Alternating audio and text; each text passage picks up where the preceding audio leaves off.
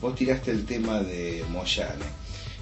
Eh, ¿Qué opinás del reclamo de la Central de Trabajadores Argentinos para tener una legalidad propia y de las críticas que hace la CGT señalando eso debilita al movimiento obrero?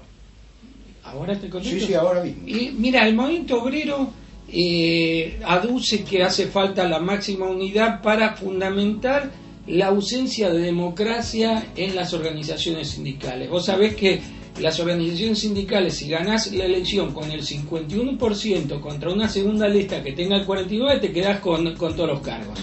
Eso, a mi modo de ver, es totalmente antidemocrático. Eh, que haya unidad del movimiento obrero, para que el movimiento obrero le regale el movimiento obrero a Menem, me importa tres pepinos. Yo quiero que se rompa la unidad del movimiento obrero si hay una política neoliberal. Y por otra parte, esto ya no, desde la militancia política, te lo digo desde la sociología, una sociedad cuanto más moderna es, más compleja y menos unidad puede haber. En la mayor parte de los países del mundo hay más de una central sindical. La mayor en, España tenés la, la, central sindical correspondiente al Partido Comunista, las comisiones obreras, la OGT vinculada al Partido Socialista, la CGT vinculada a los anarquistas. Existen anarquistas todavía en España. En Italia tenés tres, tres centrales sindicales, en Francia tres centrales sindicales. Entonces me parece que el diseño que hay de las dos centrales sindicales corresponde a una época en que era bueno que se rompiese la unidad del movimiento obrero.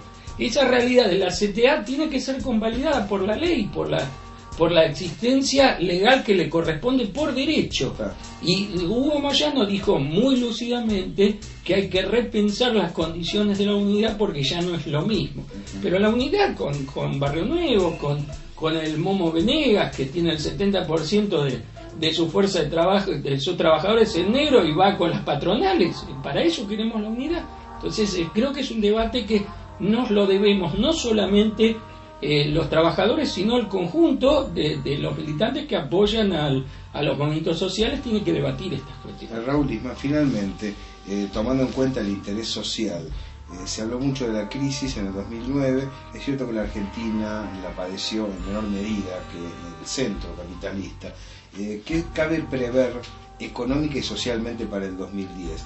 ¿Estimás que se viene una mejoría o estimás que la meseta va a continuar?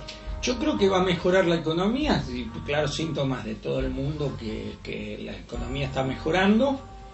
La mayor parte de los países, como vos decís, se sufrió no menos, casi nada se sufrió en la Argentina. Yo quiero recordar que cuando gobernaba de la Rúa le bajaron los salarios a los jubilados, que no eran los precisamente a los estatales en general, y a los estatales a los, y a los y a los no, caballo y a los 12, que López Murphy. López Murphy bajó el 13%. López Murphy lo proyectó, Caballo lo impulsó con la, ley, con la ley de déficit cero. López Murphy no llegó a implementar su plan.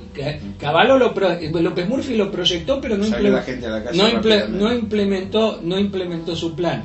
Entonces, no hubo ni baja a los jubilados. Nosotros, como docentes universitarios, no salvamos eh, del recorte del salario porque el rector saliente Yuberov no se quería ir con rebajándole el sueldo a, los docentes, pero se lo descanta, se descontaba por planilla y te lo volvían a, dar el dinero. Eh, tuvimos una crisis mucho menor y con efectos pavorosos sobre la Argentina. El derrumbe del modelo neoliberal, estrepitoso derrumbe de fines del 2001 fue el resultado de la larga crisis que en la Argentina empezó en el 98 con la recesión y estalló en el 2000-2001 en la Argentina. Tuvimos la peor crisis mundial entre el 2007 y digamos el 2009 y no hubo efectos tan terribles en la Argentina. Eso es porque hubo un gobierno que implementó fuertes políticas estatales para activar la economía, no para derramar sobre los sectores más pobres como hubiéramos deseado, sino para activar la economía. Y en ese sentido fue exitoso. La política económica la política del gobierno fue exitosa los subsidios a las empresas para que no despidan personal funcionaron, los planes de consumo funcionaron, entonces permitieron que la economía siguiera un rumbo no tan catastrófico como en los países centrales. Yo creo que eso lo tienen que medir los votantes al momento de decidir qué van a poner en el sobrecito en el 2011. Raúl Isma, muchas gracias por estar en la señal. No, gracias a vos por invitarme. La semana que viene nos encontramos con un nuevo reportaje aquí para analizar la actualidad y también perfilar lo que viene hacia el 2010.